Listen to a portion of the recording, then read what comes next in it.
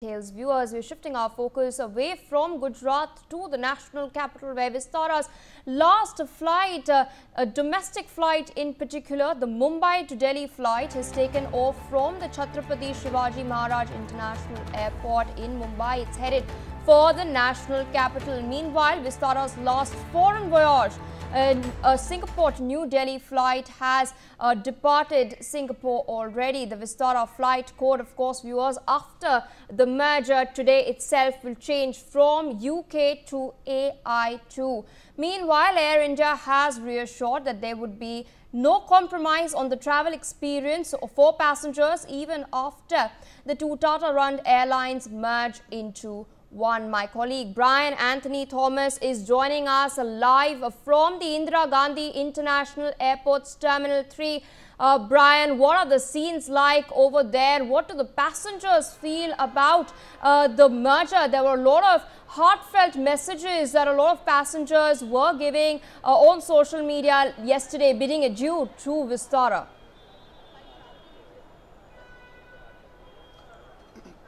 Well, we are definitely, you know, uh, we are at uh, the very IGI uh, Terminal 3 airport and yes, uh, today morning was the first scheduled flight that was AI 2984 that departed from Mumbai to Delhi around 1.30 a.m. Uh, and utilizing an A320 aircraft and post merger now yes Vistara flights will now operate by Air India barcodes at the uh, AI2 uh, followed by these series of numbers. Now let me uh, just you know come back and uh, show you these screens. Uh, this is the very screen that I'm going to give you a perspective about to avoid confusions. you know, first it will be you know it, it's clearly there that it, there's a merger now to avoid confusion because because it's still new they are still putting up the UK 6, uh, 641, but now you see uh, it is also followed by this AI uh, 2411, 2979. So yes, you can actually understand that when we are at the airport, you can actually understand the fact that yes, uh, there is a merger now. It, you know the screens are also shifting with Air India, Star Alliance, and Vistara. You know being shifted, and this is the scene. It has started. The first merger has also uh, come into ground, and it has uh, come in, and people are also you know voicing their opinion about the fact about the merger also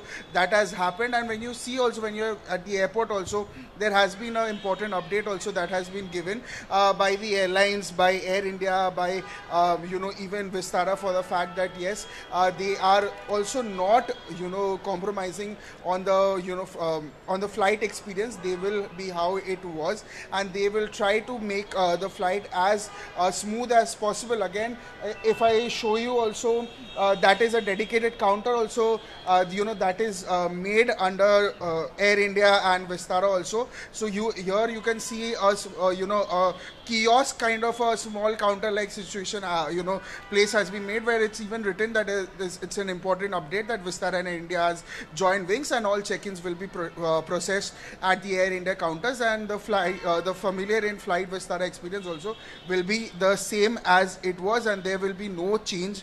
Um, you know in-flight experience for the passengers who will be uh, flying after this merger that has happened. Pia.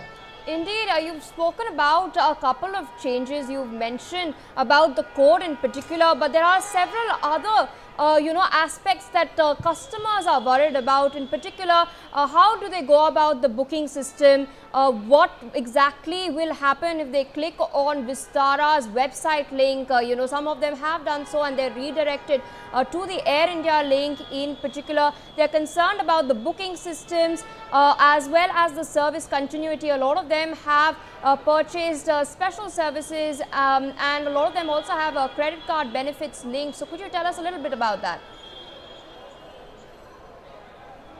Well, uh, Pia, definitely, you know, uh, before I, I give you a perspective about the 10 big mergers that has happened, I'll again like to give you a, a look of, uh, of the very T3 airport that we are in. You know, the first big change is definitely the branding and, uh, you know, the operation that like I'll show you the branding and operation so that you get an idea.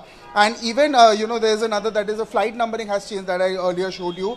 Uh, there will be also change in the loyalty program interrogation. There will be booking system changes also and also there will be customer service change in, changes also that will be happening. The flight and crew will also be wearing, uh, you see the t-shirts also that they are wearing it has uh, written uh, Air India and Vistara. So you can actually understand the t-shirts are also being changed and even there will be a service continuity also that is flight in experience that includes meal options, amenities. Uh, there will be credit card benefits as well. Uh, that is, um, you know, that is likely to happen under this 10 uh, changes. There will be route network expansion also and that is one of the big reasons that they have, uh, you know, offered to go for a merger right here and there will be employee transition as well. Now talking about the numbers also like I showed you like I, I am again trying to show you Pia. See uh, you Air India and uh, you know uh, Vistara has changed. That is, uh, this is the very flight. It was UK 641, uh, and then it has changed, and the numbering has also changed to AI2 followed by 2411. So yes, these are the 10 big mergers, uh, Pia, that has been introduced by both Air India and you know Vistara after the merger that has happened. All right, Brian, with that, I would like to thank you for joining us on the broadcast this morning, of course, showcasing uh, to us scenes live from Terminal 3 at the Indira Gandhi International Airport uh, in